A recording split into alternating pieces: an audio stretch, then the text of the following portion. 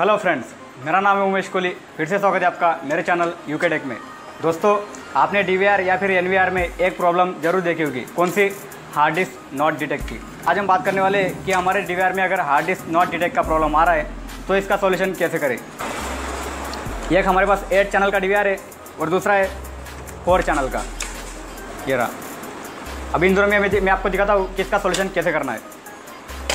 दोस्तों हमारे डी में अगर हार्ड डिस्क नॉट कनेक्टेड दिखा रहा है तो ये दो प्रॉब्लम की वजह से हो सकता है। पहला जो प्रॉब्लम है, हमारा जो हार्ड डिस्क है, वो किसी तरह से डैमेज हो जाता है तो उसकी वजह से हमारे डी में हार्ड डिस्क नॉट डिटेक्ट का प्रॉब्लम दिखाता है। और दूसरा जो प्रॉब्लम ऐसा है कि हमारा जो हार्ड डिस्क है, वो पार्टीशन सिलेक्शन नहीं कर पाता। मतलब GPT टू MBR उसको कन्वर्ट करना पड़ता है, तब वो हमारा प्रॉब्लम जो है, वो सॉल्व हो जाता है। और कभी कभी क्या होता है, हमारा जो हार्ड डिस्क है, वो पार्टीशन सिलेक्ट नहीं कर पाता। इसमें दो पार्टीशन होते हैं, एक जीपीटी पार्टीशन और एक MBR पार्टीशन तो उस पार्टीशन को आपको कन्वर्ट करना पड़ता है।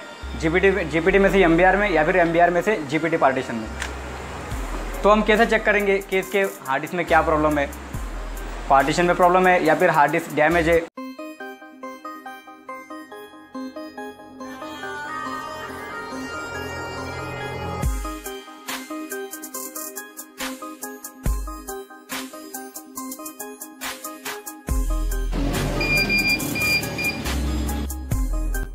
अगर आपके DVR में भी हार्ड डिस्क का प्रॉब्लम आ रहा है तो सबसे पहले आपको डीवीआर का पावर एडेप्टर चेक करना है।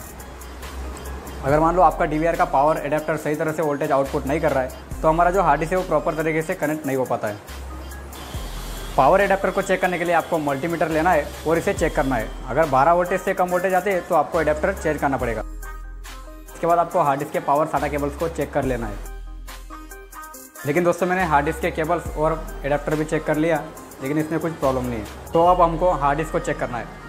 हार्ड डिस्क को चेक करने के लिए आपको डी में से हार्ड डिस्क को डिसकनेक्ट कर देना है और किसी पीसी में और आपको इस हार्ड डिस्क को किसी कंप्यूटर में कनेक्ट कर देना है। कंप्यूटर में कनेक्ट करने के बाद आपको कंप्यूटर ऑन कर देना है।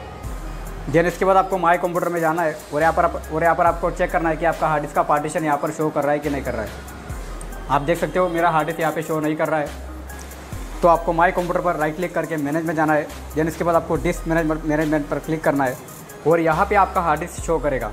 आपको सिंपली यहाँ से इसका पार्टीशन टाइप चेंज कर देना है, यानी G P to MBR convert कर देना है। देन आपका जो प्रॉब्लम है, वो सॉल्व हो जाएगा। देन इसके बाद आपको कंप्यूटर ऑफ़ करके इस हार्ड डिस्क को डिस्कनेक्ट करके फिर से डीवीआर में इंस्टॉल कर देना है।